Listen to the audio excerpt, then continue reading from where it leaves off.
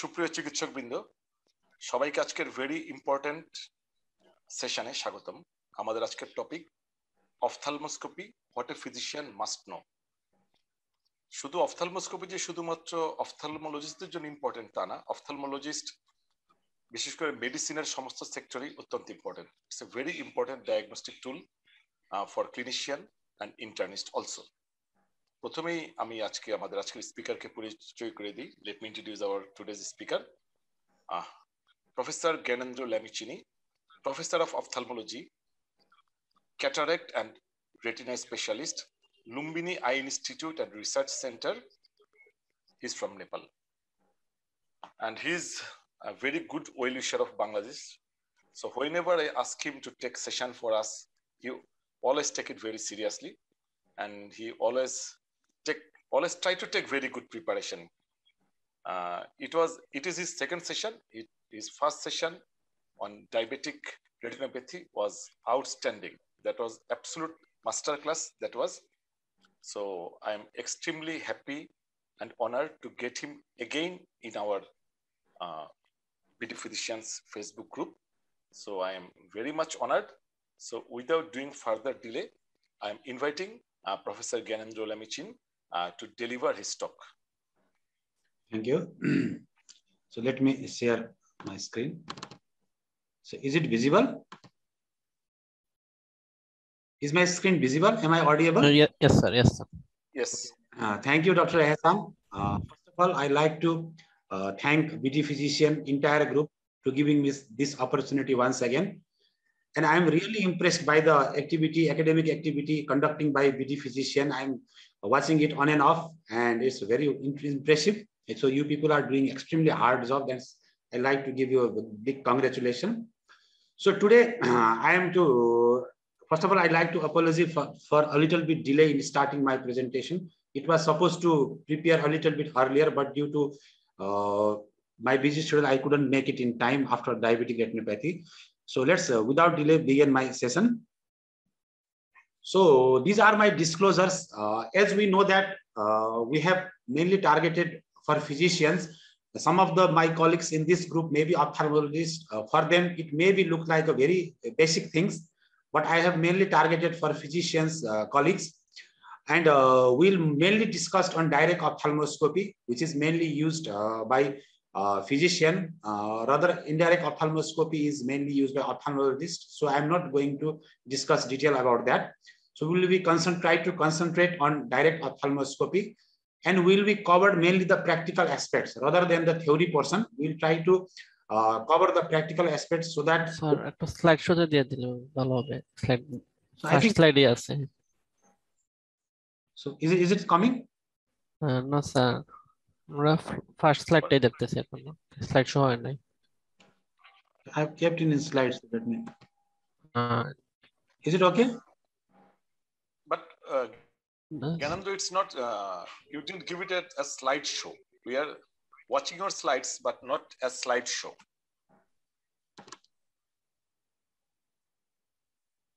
Hmm. Slides are visible. It's okay. So in, in my computer, it's basically like a slide. Slide, there's no slide show in my computer. Onik, just give him some instruction. He Uh, understands Bangla very well. একটু মানে slide of করে আবার যদি একটু share করতেন তাহলে ভালো হতো শেয়ার স্ক্রিন দিয়ে এন্টায়ার স্ক্রিনটাই শেয়ার করে দেন তাহলে আর সমস্যা হবে না স্লাইড সিলেক্ট না করে আর কি প্রথমে যে স্ক্রিনটা আসে শেয়ারে দিলে ওইটা শেয়ার করে দিলে তাহলে সমস্যা হবে না is it okay now? Let me. No, Eh, s- Is okay? এ- এ- ওকে না okay Yes. So, so these are my disclosures, uh, as I have mentioned. So I'm mainly talking on the practical aspects. So these are some of my discussion outline. We'll discuss what's the importance of ophthalmoscopy, type of ophthalmoscopy, and we'll mainly concentrate on direct ophthalmoscopy, its setting, ex- external examination, and pathology. And uh, later on, we'll have some question and answer session. So let's begin. I think we all know this gentleman and this program as well. Uh, so uh, there it is, uh, I have kept six uh, questions. It is for self-assessment. You don't have to uh, press anything to answer, just realize within yourself. So first question is how often do you do direct ophthalmoscopy in your patient by yourself? Whether you do in selected cases, whether in all cases, whether you don't do at all, but refer to ophthalmologist, whether you not do at all, and you even don't refer to ophthalmologist. So you analyze yourself in which uh, category you usually like to be there. Next one is, if you do uh, a uh, direct ophthalmoscopy, so what are the common scenarios you commonly prefer to do a direct ophthalmoscopy, whether it's on diabetic patients only or hypertensive patients only, or both diabetic and hypertension, or as per need, you usually do direct ophthalmoscopy in different cases in your clinics. So third one, uh, do you have any idea what is the area of fundus seen by direct ophthalmoscopy? It is about 1.5 millimeter, which usually causes one disc diameter or two, three, or four. So we'll get this answer in subsequent uh, subsequent slides. Just for your knowledge, you just uh, you do self-analysis. And what is the field of view of direct ophthalmoscopy, whether it is 10 degree, 20 degree, 30 degree, or 40 degree. And what is the magnification by direct ophthalmoscopy? Do you have any idea? Just uh, do self uh, analysis. It is three times, 10 times, 14 times, or 20 times. And what is the nature of image formed by direct ophthalmoscopy? It is erect or inverted. Inverted. So these are some of the common questions for self-analysis. So we will get this answer uh, as we move on our subsequent slides. So let's start. What is ophthalmoscopy? To be very simplified and very simple, it is nothing a big deal. It's the method by which the magnified image of the fundus, what we call ocular fundus, which can be seen. So basically, there are two types we'll have in subsequent slides. One is called direct ophthalmoscopy, where the image is erect. That means whatever you see through the direct ophthalmoscopy, it is the same picture what we exist in reality. Whereas in indirect ophthalmoscopy, the picture is exactly reversed. So if you see uh, some picture inside the retina through your indirect ophthalmoscopy, if you want to draw, you have to draw it in inverted position. So that is the basic difference between direct ophthalmoscopy and indirect ophthalmoscopy. So why ophthalmoscopy? Why do we need the ophthalmoscopy? First of all, it is told that the eye is a window to systemic disease. So there are lots of conditions we will see in subsequent slides that with the simply with the fundus examination, we can have some idea about or we can have some cleanse to the diagnosis to systemic diseases. And interestingly, retina is the only portion of central nervous system which is visible from the exterior. Viewing the fundus is a great way to get a sense for the patient overall status of vasculature. And fundoscopy examination can discover pathological processes which otherwise is invisible, such as endocarditis, disseminated candidemia, cytomegalovirus retinitis in HIV, and being able to stage the both diabetes and hypertension, which is the most commonly used indication for direct ophthalmoscopy by physician in their clinic. And obviously, most of the time we used to see the fundus before doing the lumbar puncture to see the status of the whether the intracranial pressure is raised or not. So let's have some basic anatomy of the eye. We all know that from our MBBS knowledge that eye has three coats. That is outer coat is called sclera and cornea. Middle coat is called uveal coat. And the inner one is called as the retina. And let's go a, little bit deep into the retina. So retina is a light sensitive tissue of inner layer of the eye, just as what we compare with the reel of the camera. But nowadays there is all digital camera. There is no film like camera, but we can compare with this one. And this is a, it basically consists of the three part. The center, you can see this is the optic disc, which is also called optic nerve head and blood vessels and macula. So macula out of the whole retina, the macula is the most light sensitive part of the retina, which is specialized for high acuity of vision. And uh, before being mastering into the direct ophthalmoscopy, we at you at least we all must have some basic idea about what is how does a normal retina looks like. So you can clearly see in this picture. So this is the optic nerve head or optic disc, and you can see there is the vasculature. This thick one is one, what we call is the retinal vein or venules, and the smaller one is the retinal arteriole. Whereas the center portion of this uh, one is called as the macula, which is almost two, uh, three millimeter away from the optic disc. And the center of the macula is called as the fovea. So this is the normal anatomy which use you usually seen with the direct ophthalmoscopy. And we all know that the image of the object falls in the retina in an inverted position and our optic nerve takes it to the brain and ultimately it, the image become inverted. And uh, for the beginners, we always suggest to start direct ophthalmoscopy in a dilated pupil because uh, it's very difficult to appreciate all the changes uh, in the uh, small or constricted pupil. So the commonly we can use the tropicamide eye drops, but you should be very aware to counsel the patient because we know that it is the tropicamide is a short acting cycloplegic mydriatics which cause the pupillary dilatation and also uh, paralysis of the ciliary muscles. So which ultimately lead to the blurring of the vision for four to six hours. So if you don't, so you should counsel the patient that once you put this dilating drop, patient may have difficulty in driving and doing near work for four to six hours. Sometimes patient may come in your clinic with the driving. So they may be difficult. So you have to counsel the patient beforehand. So what are the tools for examining the human ocular fundus or human retina? So one is the one screening tool is the direct ophthalmoscopy, which we'll going to discuss in detail a little bit later. Beside this uh, screening tool, there are lots of other screening tool for retina. That is indirect ophthalmoscopy, which is the binocular in nature. So it is two types. One is head mount, which you can see in this figure.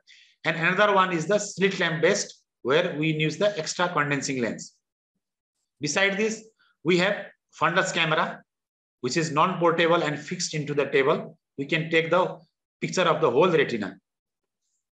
And nowadays we have smartphone camera, which is both portable, mydriatic and non-mydriatic. That means you even don't need to dilate the pupil.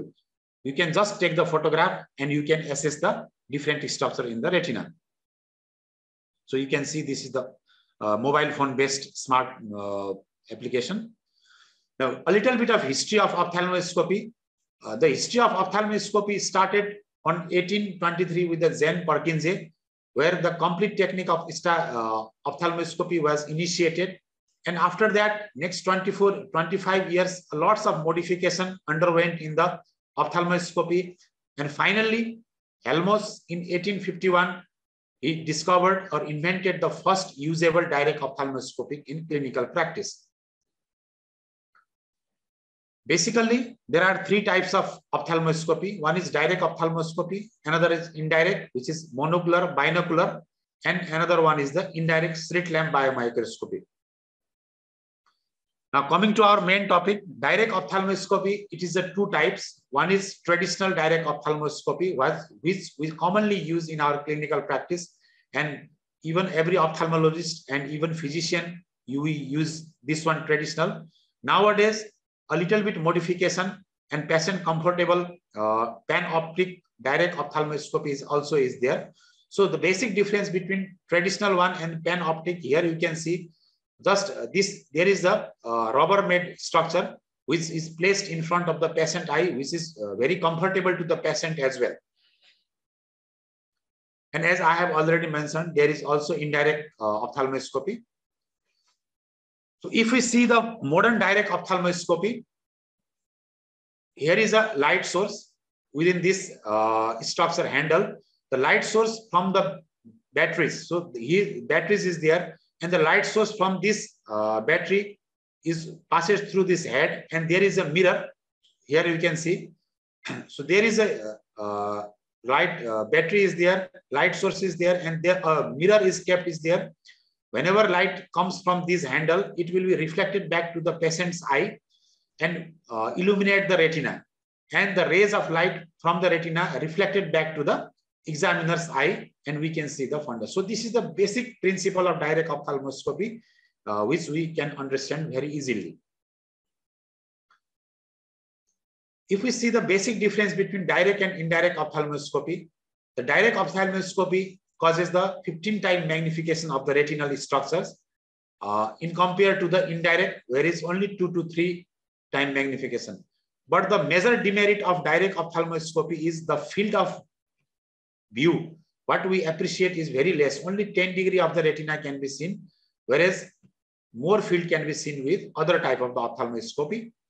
And the image form is real. That means whatever you see in eye, it is the exact picture. And it is monocular. That is, uh, you can examine one eye at a time. Whereas in indirect ophthalmoscopy, you can examine both the eye at a time. Uh, so it is a uh, stereopsis is less. And uh, undilated pupil, uh, we can examine direct ophthalmoscopy in undilated pupil, but for indirect, we need the dilated pupil. So let's discuss about the part of ophthalmoscope. Direct ophthalmoscope has uh, mainly three parts. This is called head, this is neck and the body, and it has two surfaces. This is the surfaces having peephole. It always faces toward the examiner.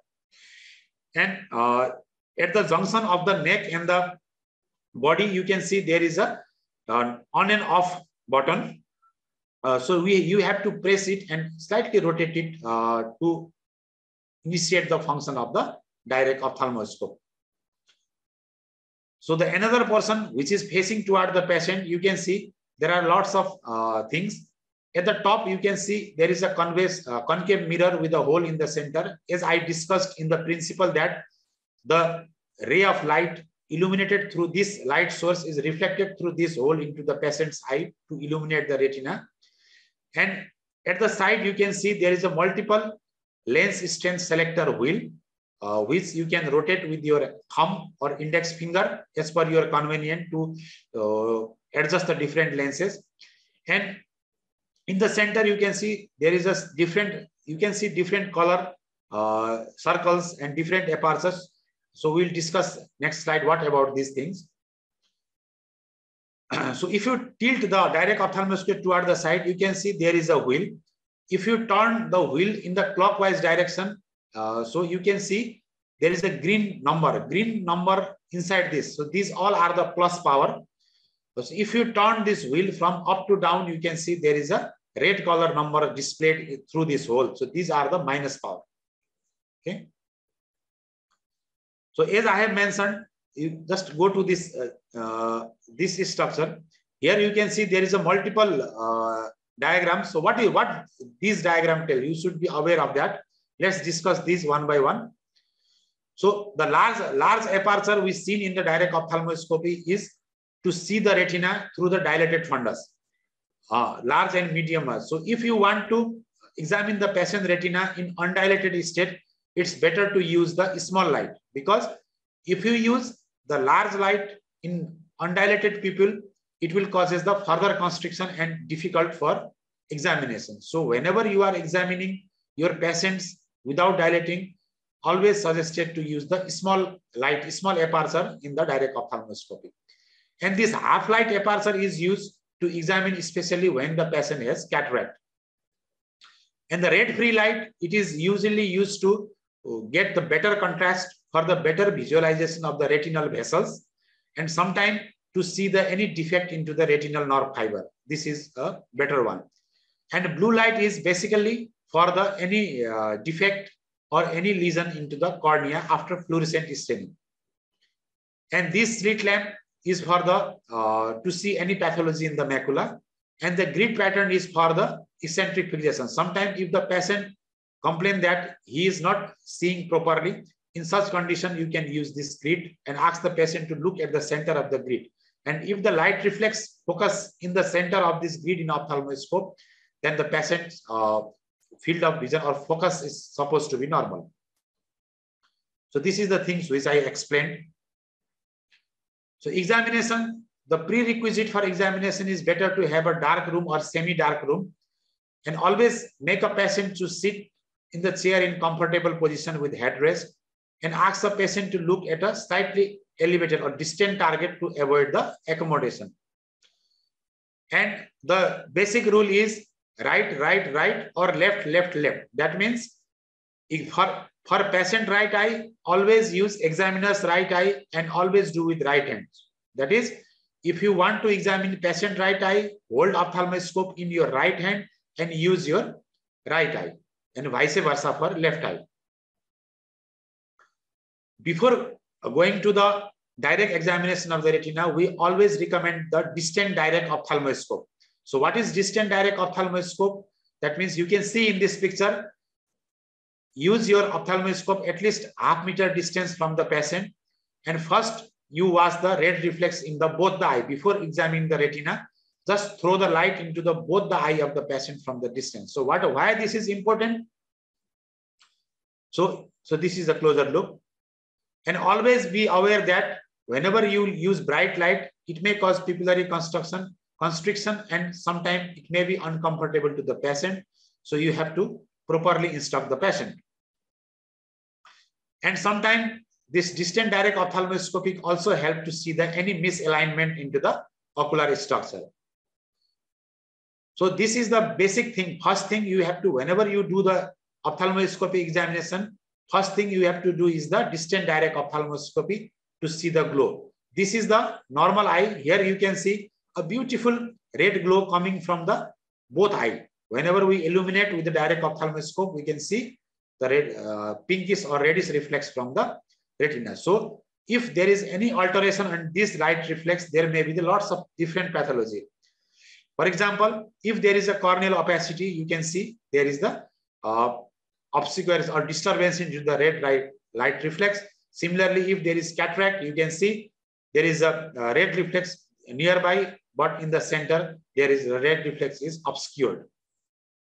Similarly, if there is a dense cataract, there is no red reflex at all. And sometimes red reflex totally be absent. And in sometimes instead of normal red reflex, we can see this type of yellowish or whitish reflex. So what, what does this indicate? If there is a red reflex is absent, it may be significant that, especially in case of diabetic or hypertensive patient, there may be the underlying large hemorrhage inside the retina. Whereas if there is a yellow reflex instead of normal red reflex, especially in case of side, it should be extremely alarming. That means the eye, what we call is in medical term is a leukocoria, which signifies there's a, the eye or retina is harboring a big tumor, which may be the life threatening, which may be like retinoblastoma. So that is the very much importance of your distant direct ophthalmoscopy red reflex. Now, so whenever you are starting the direct ophthalmoscopy, always set the lens power at zero in the beginning.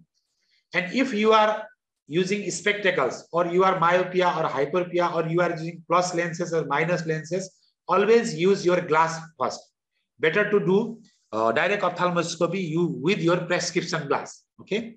Then wear your glass. If you have error, or if you don't want to do use your glass, then you have to set your error in the ophthalmoscope accordingly. If you are myopia or nearsightedness, uh, then you have to set accordingly. So if the patient is myopia or wear minus power, set the lens in ophthalmoscopy is negative or red, as I have mentioned previously. And if it is hyperopic or patient wear plus power, set the lens in green. And gradually approach toward the patients. And uh, once you go near to the patient, rotate the wheel in the side as per need to bring the clear focus of the retina. So these are, here you can see in this diagram, first of all, you have to set, set the power into the zero. Then you have to rotate either toward the plus or toward the minus. Uh, and wherever uh, it so clearly, uh, then that is the point of focus. So if the patient is myopic, then you have to turn, rotate toward this red sign. And if the patient is hyperopic, then you have to turn this one toward the uh, green one to make the clear focus. And once you see the, once you complete all this procedure, now we come for the internal examination of the retina. So continue turning focusing wheel as I have mentioned to, first of all, you have to bring the retina or vessels in focus. Then follow the vessels to the disc and examine the rest part. Let's see. First of all, you have to examine, uh, then these are the things you have to note in optic disc.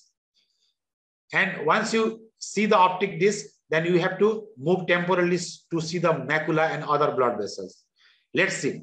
So this is the uh, picture. First of all, what you have to do, you have to identify the blood vessels. Here you can see the light is illuminating the blood vessels. So once you see the blood vessels, then just track the blood vessels toward the nose, that is toward the nasal side, which always uh, ends into the optic disc. So gradually you like try, try to look toward the nasal side. Then what happens? Then you reach to the optic disc. Okay. So once you see the optic disc, you note, note all the thing regarding optic disc.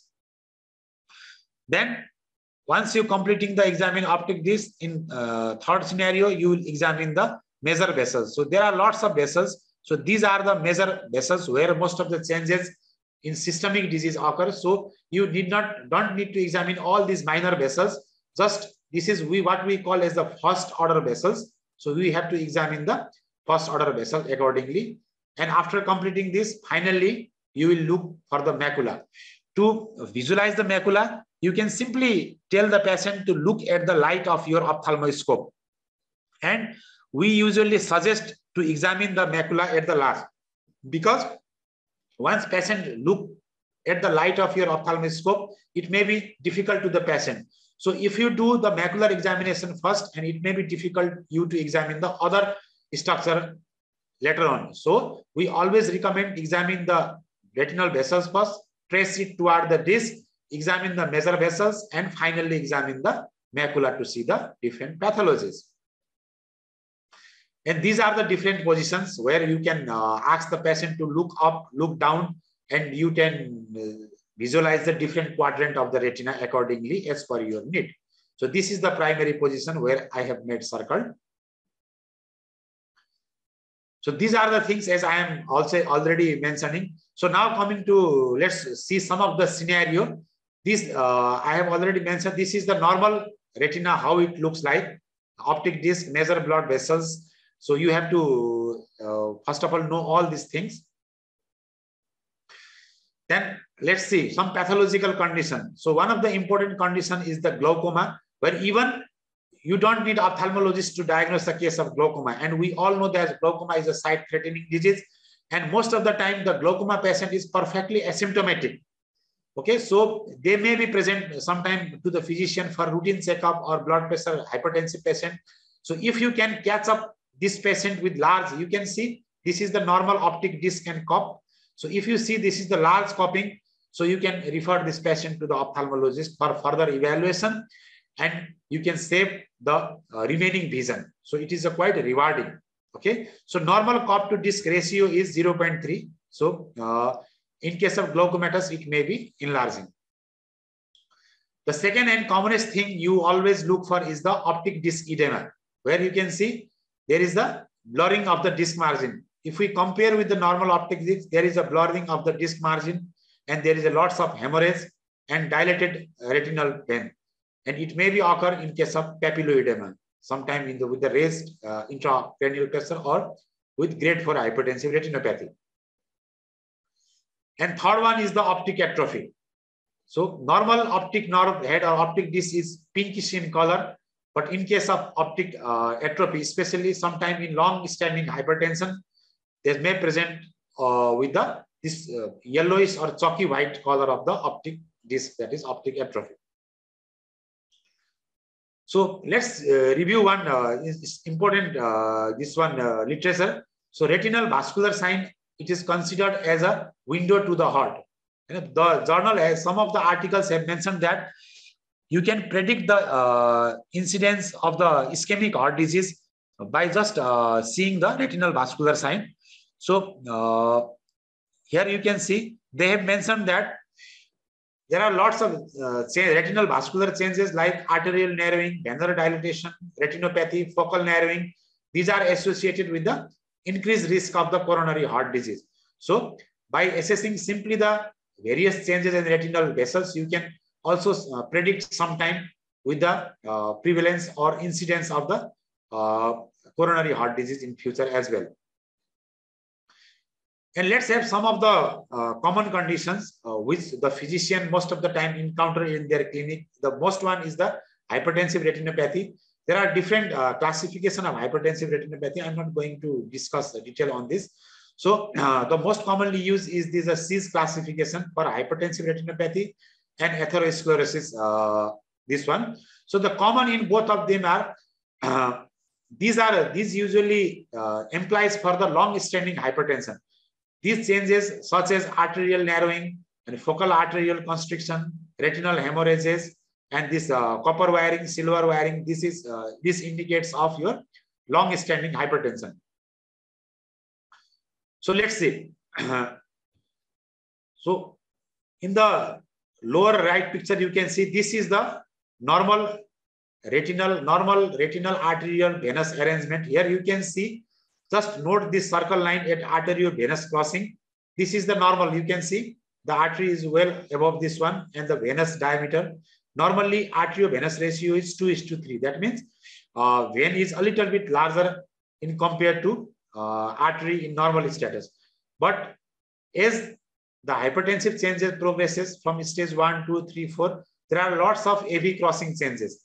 Here you can see, which is commonly now called as arteriovenous nicking, that you can see there is sclerosing of the artery, the thickening of the artery, it presses the underlying vein and this, you note this diameter and here there is the change in the course of the vein as well as there is the tapering at the end of the arterial crossing. So all these things are called as, you know, there is a Salus sign, bone sign, Gunnet sign, there are the Bonnet sign, there are different types of sign.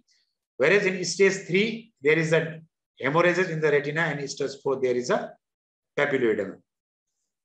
And in long standing, there are the copper wiring and the silver wiring. In copper wiring, a little bit uh, uh, less white, whereas in silver wiring is you see the blood vessels is almost devoid of blood. There is no blood at all. So this is the completely sclerosed blood vessel. And these, so most of the time we see that there is a disc edema and you lots of retinal exudate. So these are the acute changes which is usually seen in grade 3 and grade 4 hypertensive retinopathy or what we call as malignant hypertension. This is usually seen in young patient because in those patients uh, the regulatory system is or compensatory system is not much that developed. And it usually we see when the diastolic pressure is more than 120 milligram of mercury the patient usually present with the grade 4 hypertensive retinopathy. And this interesting photo you can see you can see there is an emboli this is a case of branch retinal artery occlusion and the patient sometime we simply with the help of this direct ophthalmoscopic and fundoscopic examination we can see the uh, retinal emboli. And this is the diabetic retinopathy. We can see there are lots of new vessels uh, coming through the optic disc. So what is the importance of this one? Uh, in this condition, patient vision may be normal. So most of the time, sometimes the diabetic patient in your clinic may present in this stage. At this stage, patient vision is absolutely normal. So he or she doesn't bother to come to ophthalmologist for eye examination because he thinks I'm I'm seeing well. Why should I go to ophthalmologist? So they definitely come to you for regular diabetic screening and simply by ophthalmoscopic examination, if we if you see lots of new vessels like the disc, so this is the time patient need urgent ophthalmologist referral to the retina specialist because if we can do the laser at this patient and these all these new vessels become regress and there is no bleeding. But if the patient stay at home thinking that my vision is okay and patient these new vessels got ruptured and ultimately the patient become blind. So this is one of the most rewarding field where the direct ophthalmoscopy can save the vision of the patient also. And sometimes not only the sight, saving, the identification of retinal sign may be the life-saving too. Here, uh, you can see there is a hemorrhage and in the center of the hemorrhage, there is a lots of white spots. So this is the, what we call it the Roth spot of subacute bacterial endocarditis. Similarly, uh, this is the patient presented to us with the lots of hemorrhages in both the eye and uh, after investigation, we found the case turned to be the case of leukemic retinopathy. And this is the classical condition, if you what we call as the pizza pie appearance. So if you see this type of fundus picture through your direct ophthalmoscopy, uh, especially in an immunocompromised patient. It is very classical of the CMV retinitis, what we call pizza pie retinitis, and it usually it, it usually appears when his, his or her CD4 count is less than 100. So the my recommendation is always try to do direct ophthalmoscopy in an, in every systemic vascular cases to your clinic as per you know. Always follow the systemic step for direct ophthalmoscopy. Uh, in at the beginning time you can uh, do the dilate, dilated patient at the beginning and once you get mastered you can simply do in non-dilated cases. And don't hesitate to refer to ophthalmologist in case of any doubt and get and get feedback from them also. And finally practice practice and practice is the thing that makes always perfect to you. Thank you very much for your session. So if there is any questions i am happy to take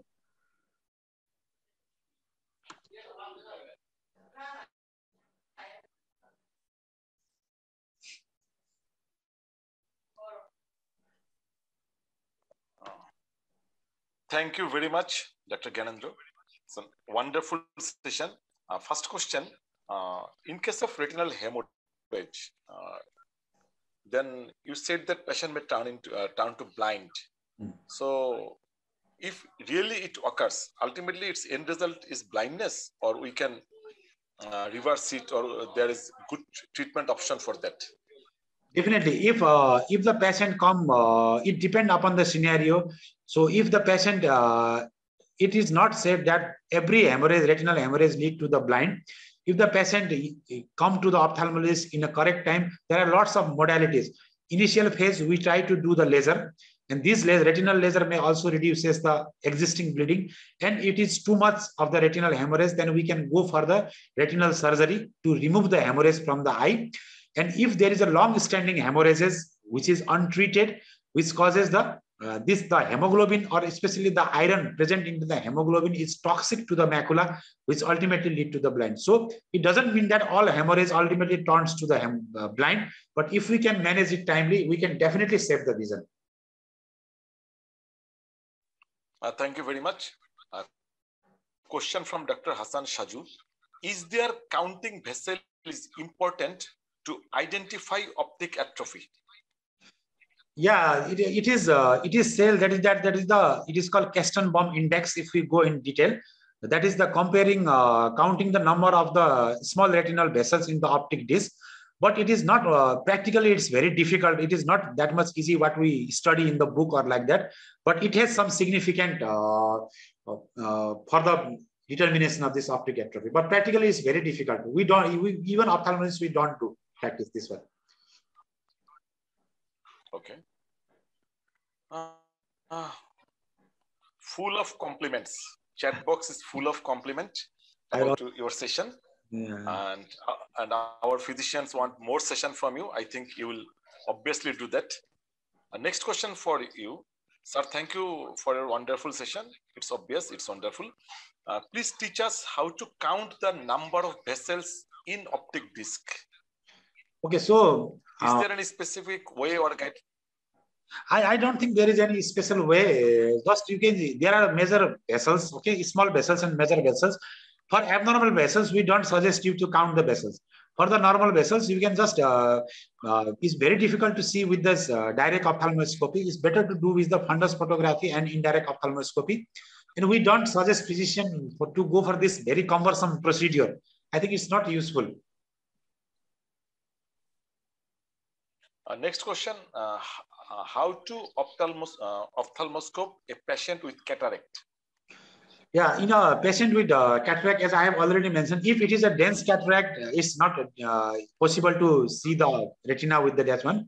And if it's a very initial state of the cataract, you can use this. I have shown you this one half half slit, half slit. You can use that one for the see the retina through this cataract lens. I'm also seeing the chat box and try to answer. many, many questions. Yeah, one, many, many. Next question. One of the interesting uh, question I get that how do we suggest uh, do direct ophthalmoscopy in COVID patient? I was expecting that question is very difficult in this COVID area. We don't recommend to go very close to the patient to do the direct ophthalmoscopy. and uh, better to use mask in both the examiner and the uh, this uh, patient and do the direct ophthalmoscopy. Another good question for you, Dr. Gyanendra.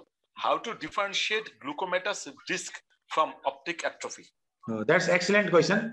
So the there are a few points. The first one is the uh, we see the the glaucomatous disc is more of the cupping rather than the pale, whereas the optic atrophy is the more of the paleness than the cupping. That is the basic difference in the, this one. And in case of the optic uh, atrophy, you will see there is a generalized paleness or chalky whiteness of the disc, whereas in case of the glaucomatous optic atrophy, you see there is a thinning of the optic, uh, you know, that's called neuroretinal rim. So these are the basic difference. Yeah. Uh, next question, sir, please explain about hard exudate, soft exudate, dot blot hemorrhage, cottonwool exudate, etc. Is there any picture? Gyanendra, then it will be nice if you yeah, I, I show the picture, then I think it. Yeah, correct. Okay, let me share my slide. Okay, because uh, as I have uh, done this one in the visualization is important for these pictures. Uh, yeah. uh, hard exudate, soft exudate, dot blot hemorrhage, cotton wool exudate. These four. If you can. Okay, let me share. So, are my slides visible? Anyone can ask direct question. Can yes. Okay, okay. Let me. Uh, okay, just just wait a time. I had that during my diabetic retinopathy session. I have, but I didn't include this time. Sorry for that. But at least I have one slide in that. Let me just uh, okay.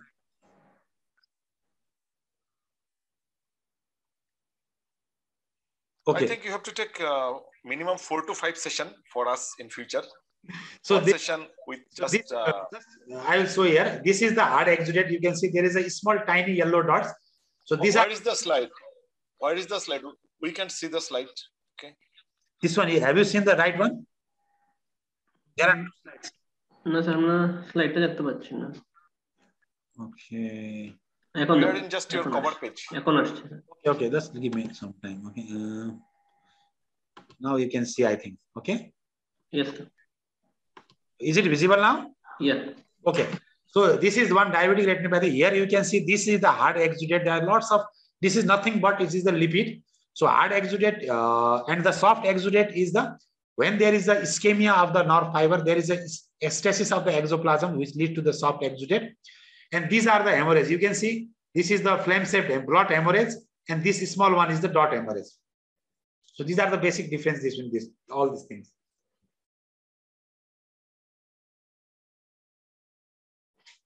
Okay. There's a, another good question for you. Okay, you can now stop the slide sharing. Another question. If a patient has glaucoma, dilating with tropicamide will be harmful or not? Tell us something about uh, tigroid fundus. Okay, the, uh, coming to the first question, uh, it is uh, not absolute contraindication of dilating glaucoma in case with the tropicamide, but definitely this is a very nice question. We should be aware that uh, uh, if it is a, we usually, first of all, before dilating the exam, we examine the patient in the slit lamp. That means if there is a, a shallow AC, what we'll call, if the anterior chamber is shallow, it's better to be very careful while dilating this one. And uh, uh, regarding the second question, what was the second question? You, you are muted, Dr. Hassan. Okay, uh, that's What was the uh, second? Tigroid, fu- tig- Tigroid, okay, sir. fundus. Okay, so tigroid fundus is usually, tigroid means it's a tiger like. If you just remember the skin of tiger, this is yellow and the black stripes. But uh, especially in case of myopic patient, when there is a high myopia, you can see there is a alternating this, this type of pattern in the fundus. This is simply the tigroid fundus, which is called. It has not that much significant clinically. Okay. Uh, please explain papilledema again, sir. Definitely. So papilloedema is simply disc edema. There is a basic difference between the papilloedema and the disc edema. So in both the condition, whether it is papilloedema or the disc edema, optic nerve head or optic disc is swollen, what I have shown in that picture. But until and unless there is no raised intracranial pressure, we don't uh, no, not uh, label it as a papilloedema. That means the definition of papilloedema is optic disc edema secondary to raised intracranial pressure is papilloedema. Otherwise, it is simply disc edema, no papilloedema.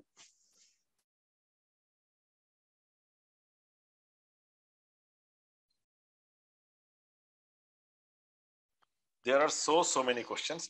If anyone ask live question, uh, you can raise your hand, we'll allow. Uh, it's really tough for me to select the questions. Okay, another question. Can macular edema be confirmed by ophthalmoscope? Can macular edema be confirmed by ophthalmoscope or it need slit lamp or any other examination? exactly. So So there is two raised hand already. uh, okay, so Then we will allow them.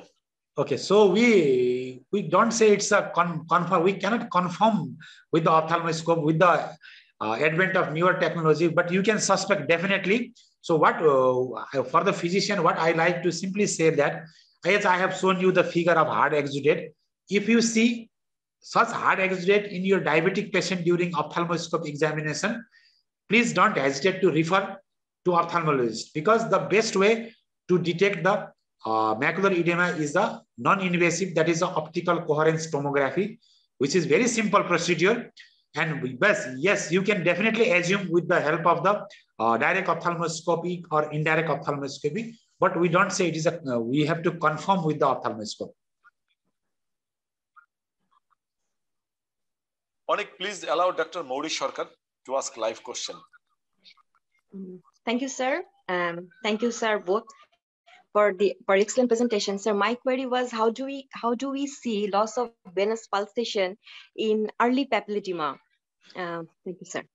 Okay, so uh, you can uh, uh, the usually the venous pulsation is even uh, uh, absent in 10% of the normal cases. So it doesn't have that much of significance.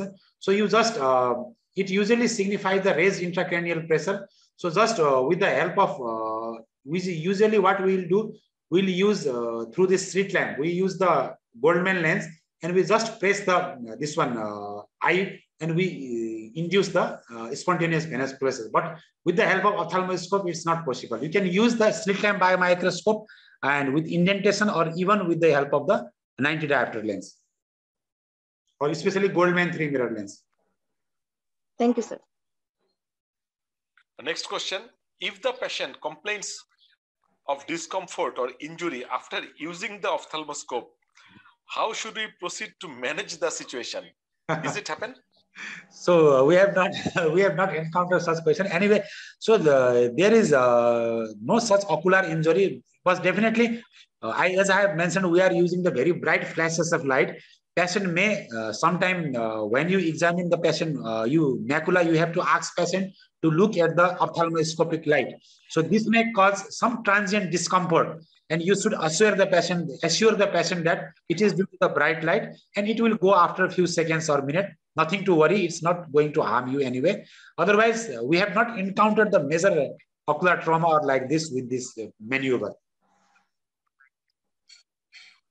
I think skilled physicians will do it very comfortably.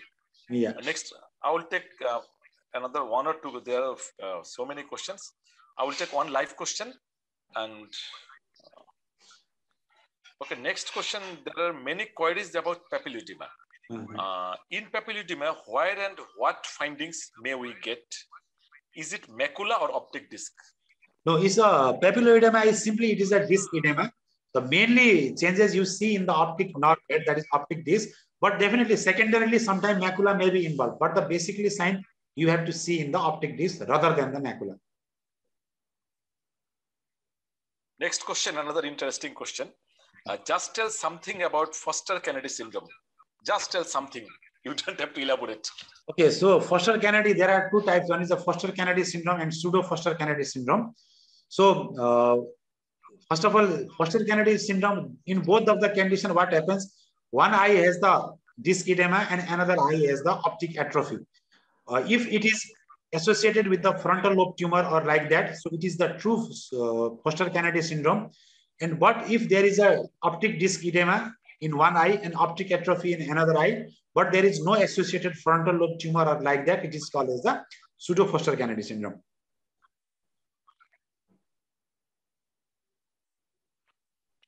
Okay.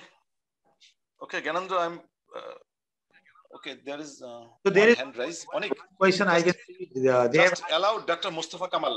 okay. There, is, there are many questions. Uh, Onik, just allow Dr. Mustafa Kamal to ask a live Sure. question. উনি allow আছেন question করতে পারবেন Thank you, sir, for your nice Dr. presentation. Mustafa Kamal. Uh, Thank you, sir, for your nice presentation. Uh, Sir, I have um, some questions. Uh, First one is uh, how to differentiate the um, papilledema in case of glaucoma or is due to the any intraocular tumor or due to the any hypertensive cases? Okay. This one only? Okay. Oh, so so papilloedema and hypertensive changes, as I have mentioned that hypertensive retinopathy, especially the grade 4 hypertensive retinopathy may present as a papilloedema. But as I am repeatedly mentioning, until and unless there is no race ICP, so you can, uh, and there is no evidence of systemic uh, diseases, so we label it simply as a disc edema. The basic difference is in case of hypertensive uh, disc edema due to hypertension, there may be the other associated hypertensive changes in eyes, such as arteriovenous nicking and you know arterial narrowing. But if it is a papilloedema, it is usually confined to the optic disc, whereas there is no other arterial changes you can see. And in glaucoma, it is obvious that in glaucoma there is no disc edema usually. Uh, usually there is a uh, there is disc cupping rather than the disc edema. And one important thing you have to differentiate deep uh, papilloedema is usually with the optic neuritis. That is very much important. The basic difference is in optic neuritis, the vision is markedly reduced, where in this papilloedema, the vision may be normal. And another important one is RAPD, relative afferent pupillary defect. If you see the disc edema and there is no, uh, if there is a disc edema, or you suppose papilloedema and you see you see the RAPD, it is not a papilloedema, it is moving toward the optic neuritis. So these two things you must have to differentiate. Uh, sir, please take a session on optic atrophy and sir. papilledema. Sure, sure. I wish that uh, the- I wish that Dr. Gyanendra will take minimum five to six session in future. so there are many questions. So I'm not going to take uh, further question today. Uh, today I was feeling that uh, Dr. Gyanendra is giving examination to a very big board. They were asking really I- some wonderful question to him. I really He answered nicely. Studying from my residency and MBBS. I love teaching. It's okay for me. So it's uh, okay. Then last question for today. Okay. Which one I shall take? Okay. As I'm a dermatologist, for me, vasculitis is the important topic. Okay. So it's different. Yeah. Uh, sir, what are signs of vasculitis in fundoscopy? Uh-huh. Or when can be suspected systemic vasculitis? Okay, this is the last question for today. I Okay. think it's enough. Systemic vasculitis. We have uh, one term called as retinal vasculitis. We also encounter the retinal vasculitis. The so the basic uh, findings uh, which differentiating from other vascular diseases in case of retinal vasculitis, we can see it is called as the perivascular sheathing. That means just along the side of the blood vessels, you can see there is some sort of sheathing or yellowish deposition outside the vessels. And there is also uh, associated disc edema also. And uh, in vitreous, we said the inflammation that is called as the vitritis. So that is the basic difference to difference uh, between other vascular changes and the vasculitis because vasculitis is the inflammatory condition. Then what we have discussed all these hypertensive diabetes, uh, hypertensive especially, it is a non-inflammatory condition usually. So these are the points we can make differentiate.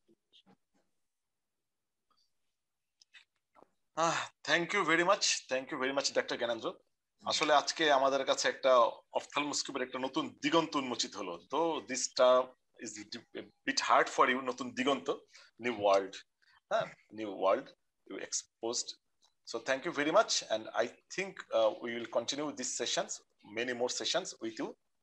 Now, uh, I like to conclude the session. Uh, thank you very much, all the participants for excellent participations. Thank Because you. without these active participations, uh, it, uh, no session um, ultimately it, uh, becomes shiny. So I like to offer uh, our today's speaker, Dr. Gyanendra, few concluding words. Then we shall uh, conclude our today's session. Uh, thank you, everyone. I really enjoyed uh, this. So this uh, this type of activity also uh, energizes us to go through the books and read all these things. So it is also benefit uh, for us also. Uh, so thank you so much, and uh, let's hope the Omicron will go from this world soon. So thank you. Assalamu alaikum. Shabbat khair. Hello, থাকুন আবার